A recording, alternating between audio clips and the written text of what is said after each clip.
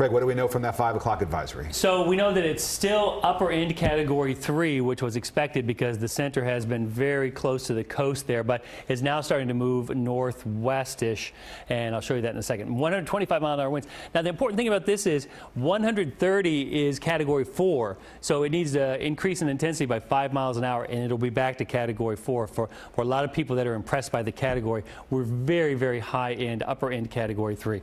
Presently 115 miles southeast of Key West, and the speed has slowed down a little bit. There's uh, probably some big news here in the speed uh, as we go through this, but more so because of the, the direction here. Remember, we were talking if it's going west, and yesterday that number of the compass there, that's the compass number, 270 is due west. Uh, then we saw some advisories, uh, some updates with 280, so we wasn't going due west anymore, a little north. So not going this way, but kind of going a little bit like that way. And now, and then the last, the last position was 285, now 295. So these numbers are getting bigger more quickly, meaning that this turn, I'll stand this way and do it. So this turn going this way is now increasing like that, so it's facing more like that. So um, this is all expected. There are no surprises here. If there are any things here that I see that look concerning outside of what we're already concerned about, I'll be sure to let you know. Here in the graphic is the wind fields. So this red area here, that is the hurricane force winds. This orange area here, that's the hurricane force wind gusts. The red area does a lot of damage. The core does destruction, but the red area does a lot of damage. The winds here over 75 miles an hour.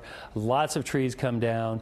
Uh, homes are damaged. This, this red area uh, does a lot of damage. The core, though, that's where there's the destruction, and it's about 45 to 50 miles wide underneath inside that red area. We don't plot the core. Uh, this orange area here, those are the hurricane force gusts. These are the power outages.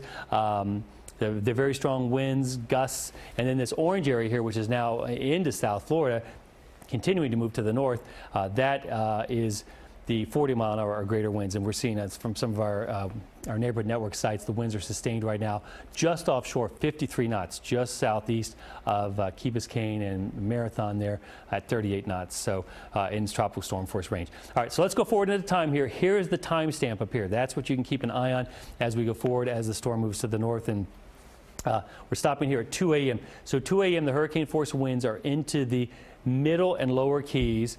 It is really, really windy and gusting. Uh, and Key Largo, the storm surge is coming in now. It's coming in. The waves are coming in. And each time a wave comes in, another wave comes in top, on top of that higher. And the track forecast has shifted just a little bit west toward Key West for the, for the core. Now remember, it's the core that you want to avoid, and unfortunately, the track position change here uh, is a little bit closer to Key West. But this whole area out here through Marathon, the Middle Keys, on up towards Key Largo, still really, really howling uh, now by Sunday at 2 a.m. Here in South Florida, Miami-Dade, the gusts are increasing. The wind is steadily blowing higher and higher. And in Broward, the winds are blowing pretty good, certainly stronger than they're blowing right now. All right, next timestamp here. We're now to 7 a.m. That looks like the closest point of impact, possible landfall there uh, at Key West of a, of a strong Category 4 hurricane.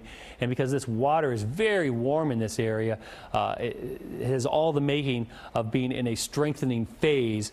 Uh, and sometimes when hurricanes are in their strengthening phase, uh, the winds that are coming together into the storm are very close to the surface. I've seen that in some storms where the strengthening phase of the storm really has a lot of wind near the surface, strong wind near the surface. So Category 4 4. Category 4, remember, 130 to 155 mile an hour winds.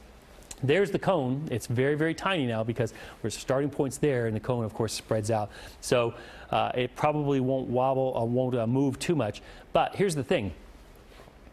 Okay, Ed Rappaport's ready for me.